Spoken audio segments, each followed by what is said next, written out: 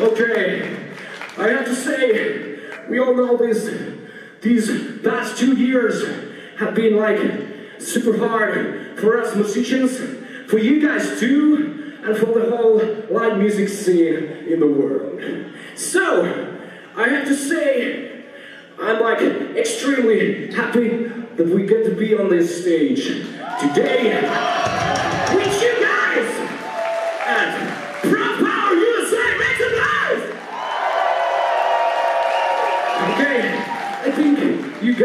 didn't come here to see me, just to hear me just talking bullshit on this stage.